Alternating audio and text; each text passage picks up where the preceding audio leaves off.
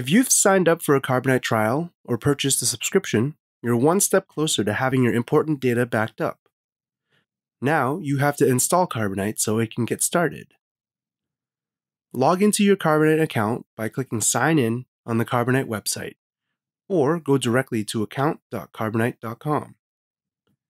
Once logged in, you'll see a message that says you haven't installed Carbonite yet. Clicking the link will take you to the download page. Click Download Now. Once the installer is downloaded, run it and follow the prompts. Agree to the terms of service and set your computer's nickname. Once you get to this screen, you can set up some options for your backup. We have recommended automatic settings you can use.